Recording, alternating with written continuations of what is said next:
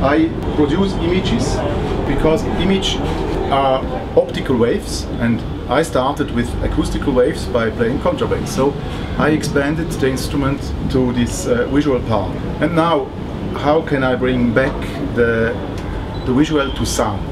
That's why I built my homemade instruments and so I started to build uh, electronic things by using the system of soldering. My father was an electro engineer in Switzerland and so as a child I grew up with these uh, low voltage constructions and so I never was afraid uh, to contact with uh, low voltage things.